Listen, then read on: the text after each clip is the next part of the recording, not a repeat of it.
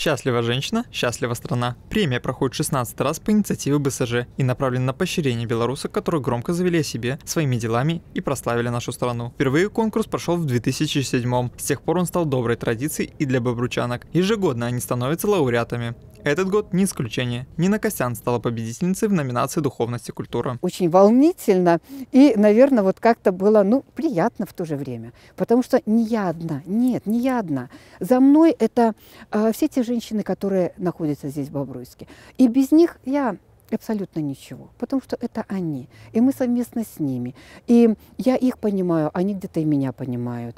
Вот. И когда мы становимся, делаем общее вот это дело совместно с ними, и оно удается, вот это дело. На базе Бобруйского монастыря Жен Мироносец создана первичная организация «Православные бобручанки». На протяжении многих лет они демонстрируют активное сотрудничество во многих проектах. Благодаря совместным усилиям и взаимоподдержке внесен значительный вклад в развитие общества и региона. Проведены масштабные мероприятия, конкурсы, лекции и даже даже мастер-классы. Неизреченно радовало, что в нашем городе столько идейных женщин, которые были и являются членами Белорусского союза женщин.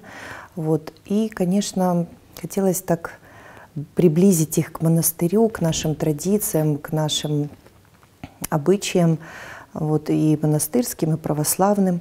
Поэтому благодаря созданию Союза именно православных бобручанок, первичной организации, удалось больше приблизиться и много хороших, интересных проектов. Милосердие благотворительно заложено в основе прекрасного пола нашей планеты. В рядах Белорусского союза женщин представители разных профессий, разных возрастов. И врачи, и педагоги, и социальные работники, и те, кто создает базис нашего государства, и просто домохозяйки, которые разделяют принципы и традиции. Этой теме постоянно уделяет пристальное внимание и президент. Мое чрезмерное уважение, респект и доверие вам, женщинам.